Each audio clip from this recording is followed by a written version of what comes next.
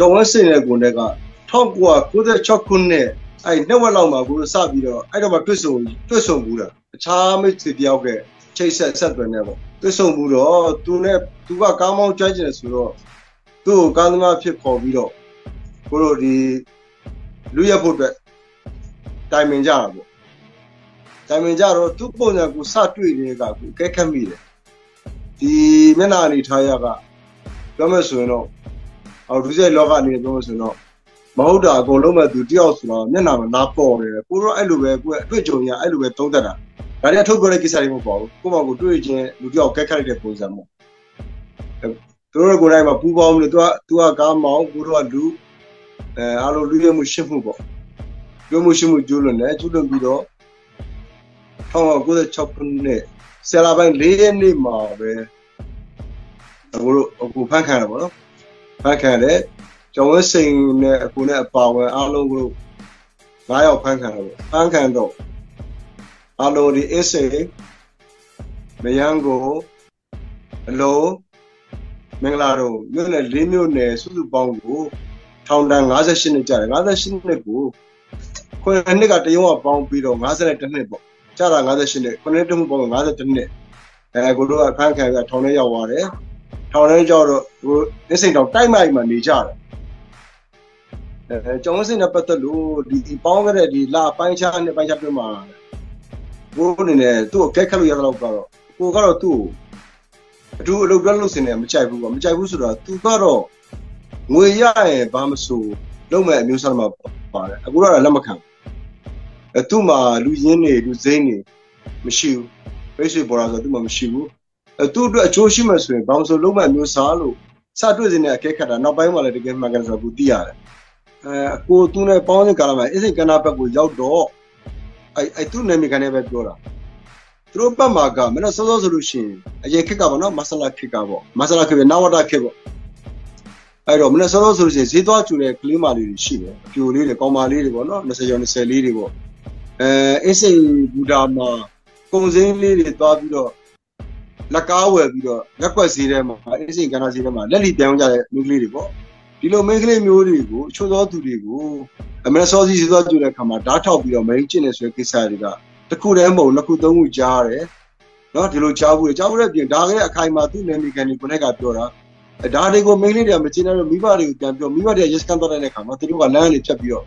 ဓာချင်းချင်းနဲ့သွားတိုင်ရင်တမိသားစုတတ်မယ်ဆိုပြီးချင်းတယ်အဲအတူအဆငွေကြီးလေးတွေရောကြီးပေးတယ် ဒါတွေကတစ်ချိန်မဟုတ်နှစ်ချိန်လို့သုံးချိန်လည်းမဟုတ်ချင်းချင်းခါခါကြားဘူးတဲ့ကိစ္စတွေဖြစ်တယ်ကိုကိုနဲ့ကလည်းပေါင်းကြည့်တဲ့ခါမှာသူကစိတ်နေတော်တာကလုံးဝမကောင်းတော့တွေ့ရတယ်အဲ့အတွက်ကျောင်းစင်ကလူလောကမှာမရှိတဲ့လူတယောက်လို့ပြောရင်တော့လူလူရှင်းပြောတော့ဒီစကားတစ်လုံးမဟုတ်ဆိုတော့ဒီထောင်ထဲမှာရောဖြတ်တန်းကြတဲ့ပုံစံတွေကဘယ်လိုရှိလဲဥပမာအဖြစ်ကောင်ဆိုးဆိုရင်ရောထောင်ထဲမှာဘယ်လိုဖြတ်တန်းတယ်သူဒီကျော်ဝင်းစိန်ဆိုလို့ရှိရင်ရောထောင်ထဲမှာ ဟိုဘယ်လိုတွေဖြတ်တန်းခဲ့တယ်လဲပေါ့နော်အဲ့ဒီထောင်ထဲမှာဖြတ်တန်းခဲ့ကြတဲ့ပုံကိုလည်းကျွန်တော်တို့နည်းနည်းပြောပြပါလားထောင်ထဲမှာဖြတ်တန်းခဲ့တဲ့ပုံတော့အကြမ်းများပြောမှဆိုရင်တော့ကိုတော့ထောင်ထဲမှာကိုယ့်ကိုတိုက်ခန်းထဲမှာအကားစားလုပ်ပြီးနေတာပဲသူကတော့ဘယ်လိုလုပ်ပြီးနေလဲမသိဘူးခန်းတော့မတူကြဘူးအဲ့တော့ထောင်မူကြီးဦးစောစင်များပေါ့ကိုရေးတဲ့စောက်တွေထဲမှာလည်းပါပါတယ်ဘယ်မှာလို့စောက်မှာထောင်မူကြီးဦးစောစင်များကိုယ့်ရဲ့အနေထိုင်နဲ့ပတ်သက်ပြီးကြိုက်လို့ဆိုပြီးတော့ပတ်စံဗျာမမြူပဲနဲ့အစိန်တော်မှတ်နဲ့တိုက်ခဲ့ရုံးကမှာပေါ်ထားတယ်ကျောင်းဝဆရာသူလည်းထွက်ချင်တယ်ဆိုတော့ထောင်မူကြီးကိုပြောပြတော့ ထောင်မူကြီးကသူမကြိုက်ဘူးတဲ့ဒါကပထမပေါ့နော်ပထမကာလတွေကိုတောင်းမှန်ပြောတော့မှသူ့ကိုပေါ်ပြန်ခေါ်ထုတ်လိုက်တယ်နောက်ပိုင်းမှာတော့ထောင်မူကြီးဦးစောစင်များမကြိုက်ဘူးဆိုတဲ့ကျောင်းဝဆရာအဲ့ထောင်မူကြီးရဲ့တပည့်အရင်ဖြစ်သွားတယ်ကိုကဘေးကိုရောက်သွားတယ်ဘာကြောင့်လဲဆိုတော့အကြောင်းရင်းကကိုကဒီကြိုက်ထဲမှာပြစ်ဒဏ်လိုပဲရောက်လာသူစီကငွေကြေးကိုဖြစ်ညစ်ပြီးရှာမပေးဘူးရိုက်နေညင်းပြီးရှာမပေးဘူးအဲသူကတော့ဥစောစင်များမကြိုက်ပါဘူးဆိုကျွန်တော်စင်ကတော့ အဲ့လိုပေါ့အချင်းသားချင်းပြင့်ညစ်ပြီးမိမစုံတဲ့ငွေကြေးကိုရှာဖွေတောင်းရမ်းပြီးတော့သူ့ကိုပေးတဲ့အတွက်ထောင်မူကြီးဥစောစင်များကအဲသူတပည့်ရင်းဖြစ်သွားတယ်ကိုကတော့ဘေးရောက်သွားတယ်တော့ကျွန်တော်အဲသူစိတ်နေတော့ဘယ်လိုလဲဆိုတော့ဒါခပ်တော့ဆိုထောင်ထဲကလူသိပါဟုတ်ကဲ့ဟုတ်ကဲ့ဟုတ်ကဲ့နောက်တော့အဲ့ထောင်ထဲမှာဒီကျုံဝင်းစင်ရပေါ့လေဒီရဲဘက်ကနေပြီးတော့သူထွက်ပြေးလွတ်မြောက်တယ်လို့ကျွန်တော်အကြမ်းမြင်သိရတာပေါ့နော်အဲ့ဒါသူဒီ ဟိုဒီရဲဘက်ကနေလွတ်ပြီးတော့2016ပြန်ဖမ်းမခံခင်ဂျားကာလာမှာရောသူဘာတွေလုပ်နေတယ်လို့ရောကြားသိရလဲခင်ဗျအဲရဲဘက်ကထွက်ပြေးပြီးတော့အစင်မှာမိုးဆွေးဝါးရောင်းနောက်တစ်ခါတော့တွန်လေးဘက်ကလာမင်းကြီးကြောက်ပြန်ပြီးဆွဲအဲအဲ့လိုကိစ္စတွေနဲ့ဒီရွှေပြည်သားမှာပြစ်ခတ်ဖမ်းဆီးခံရတာကိုဒရင်းထဲမှာနောက်ပိုင်းဖတ်လိုက်ရတယ်အဲ့ချိန်မှာကိုပြန်လွတ်လာတယ်ရဘက်ကပြန်လွတ်လာတဲ့အချိန်မှာသူမှုစီဝါရောင်းဝယ်လုပ်နေတယ်စီဝါစင်ပြင်ဆိုတော့သိရတယ် ဒါပေမဲ့သူရဲ့စင်တွေတော့မကြိုက်တာရဲ့ဒီလုပ်တွေကိုမနှစ်သက်တာရဲ့သူစီလုံးဝသွားမတွေ့ဘူး။ဘာကြောင့်လဲဆိုတော့သွားတွေ့လို့ရှိရင်လို့ရှိရင်ဆက်နွယ်နေဦးမှာမလို့ကွာလုံးဝမပတ်သက်ပဲကင်းအောင်နေလိုက်ဟုတ်ကဲ့ဒါဆိုလို့ရှိရင်ဒီသူလွတ်လာတဲ့အချိန်မှာဟိုကောင်စိုးနဲ့ထပ်ပြီးတော့မှဆုံပြစ်တာမျိုးမရှိဘူးလို့ပြောလို့ရတယ်အဲသူနဲ့ကိုနဲ့ကအဲ့အင်းစိတ်တောင်မှာ1999ခုနှစ်အခုမန်းလေးတောင်ပြောင်းသွားပြီးတဲ့က အခုသူတေသွားအချိန်ဒီမှာတစ်ချိန်တစ်ခါမှမတွေ့တော့ဘူးမတွေ့ဖြစ်တော့မတွေ့တော့ကိုကမတွေ့ချင်လို့တော့မတွေ့တာဒီ2016မှာပြန်အဖမ်းခါရတယ်ပြီးတော့နှစ်ရှည်ပေါ့နော်ထောင်နှစ်ရှည်ပြန်ကြရတယ်ကြပြီးတော့ဒီဆက်အာနာသိန်းနဲ့ဒီမင်းအွန်လိုင်းလက်ထပ်ပေါ့နော်မနစ်ကပြန်လွတ်လာတာနဲ့ပတ်သက်လို့လည်းဒါအမျိုးမျိုးပြောကြဆိုကြတာတွေရှိတယ်။ဘာလဲဆိုတော့အဓိကတော့စစ်ကောင်စီကဒီလူဆိုးလူမိုက်တွေပေါ့နော်ဟိုမွေးပြီးတော့လက်သက်မွေးပြီးတော့မှဒီသူတို့ရဲ့အုပ်ချုပ်ရေးရန်နေရာတွေမှာပြန်သုံးတယ်ပေါ့နော်အလွယ်ကတော့လူတွေကတော့ပြူလို့ပြောကြတာပေါ့လေ ဆိုတော့ဒီလိုမျိုးပြန်သုံးတာဆိုတော့ဒီကိစ္စနဲ့ပတ်သက်လို့ရောကောင်စိုးဗာများကြားသိထားတာတွေရှိရတယ်ခင်ဗျာစစ်တပ်ကလက်ရှိလုပ်တဲ့ပုံစံကထောင်တွက်အပြောမကောင်းဆိုမကောင်းသူတို့ပြောဆိုစီယုံတိတ်တို့ရမယ်သူတို့ဆိုရင်တော့သူတို့လွတ်ပေးပြီးတော့ယူဖြစ်အသုံးချတာပေါ့ဒါကတော့မြန်မာနိုင်ငံလုံးရိုးရအနှံ့ပါပဲထောင်တွက်တွေတဲကတကက်ကိုလူလူနားမလဲတဲ့ကောင်တွေကတော့ယူ sorry ဖြစ်သွားတာပေါ့